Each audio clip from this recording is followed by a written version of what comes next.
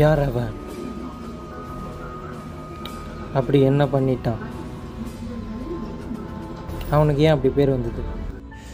இந்த மாதிரி மூணு கொஸ்டின்ஸ் வந்து கண்டிப்பாக உங்களுக்கு தோணி இருக்கும் அதை பற்றி தெரிஞ்சுக்கணுன்னா வீடியோ ஸ்கிப் பண்ணாமல் ஃபுல்லாக பாருங்கள் வாங்க வீடியோக்குள்ளே போகலாம்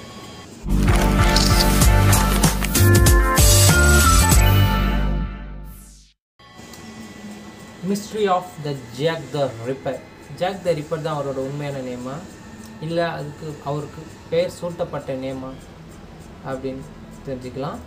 இவர் வந்து லண்டனில் ஜெபால் என்ற இடத்துல இருந்திருக்காரு. அந்த இடத்துல கொடூரமாக கொலை செய்கிறவங்களுக்கு தான் அந்த ஜாக் த ரிப்பர்ன்ற ஒரு நேம் வைப்பாங்களாம். இது வரைக்கும் அந்த பர்சனை பார்த்தது கூட இல்லையா?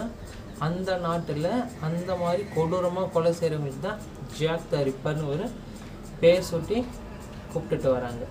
ஏன் அப்படி அந்த அளவுக்கு அவர் அப்படி என்ன பண்ணாருன்னு தெரிஞ்சுக்கலாம். சுமார் இப்போ வரைக்கும் நூற்றி இருபது வருஷங்கள் ஆயிடுச்சு. இது வரைக்கும் அவர் பற்றின தகவல் ஒன்று கூட கிடைக்கவே இல்லையா? அப்படி அப்படி ஒரு மிஸ்ட்ரி தான் இந்த ஜாக் த ரிப்பர் போலீஸ் இது வரைக்கும் எந்த அளவுக்கும் தேடி பார்த்துட்டாங்க. எவ்வளவோ அப்போலேருந்தே சுமார் ஆயிரத்தி எட்நூற்றி எண்பத்தி எட்டுலேருந்தே தேடிட்டு இருக்காங்க. அதை அவரை பற்றின ஒரு க்ளூ கூட இது வரைக்கும் கிடைக்கலையா? அப்படி ஒரு மிஸ்டேயான ஸ்டோரி தான் இது. அவர் வந்து ஏன் அவருக்கு அந்த பேர் வந்துச்சுன்னா கொடூரமாக சாதாரணமாலாம் கொலை பண்ண மாட்டாராம் ஒருத்தவங்கள கொலை பண்ணுறாங்க அப்படின்னா அவரோட உள்ளுறுப்புகள் இருக்குது பார்த்தீங்களா அதை வந்து கொலை பண்ணிவிட்டு தன்னோட கையிலே எடுத்துகிட்டு போயிடுவாராம்.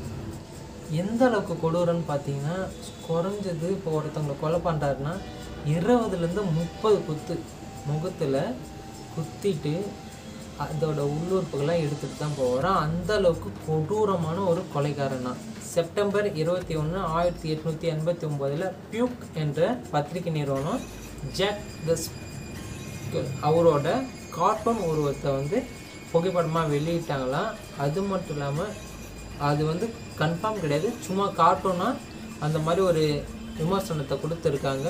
ஸோ அந்தளவுக்கு கொடூரமானவர். இவர் வந்து யாரை கொலை செய்கிறார் அப்படின்னா முக்கியமாக பெண்களை.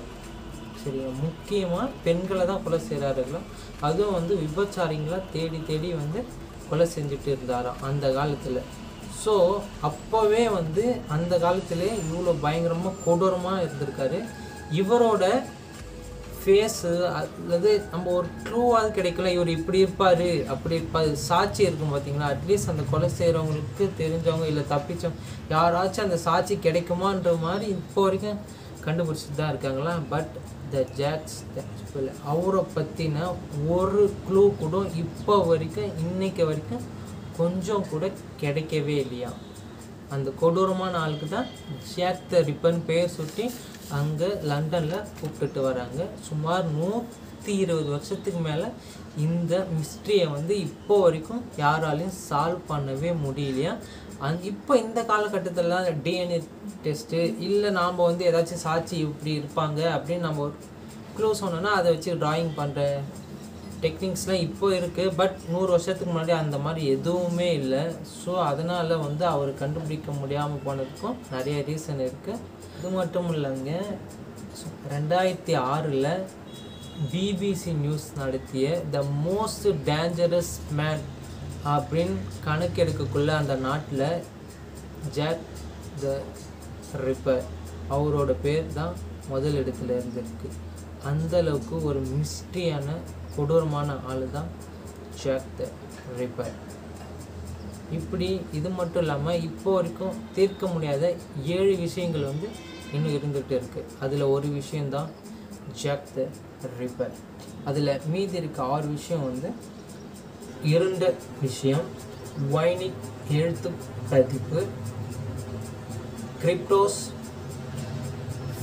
Feel சைஃபேஸ் Malaysia airline M three seven zero ஆறு விஷயத்தை பற்றியும் நம்ம அடுத்தடுத்த வீடியோவில் பார்ப்போம்.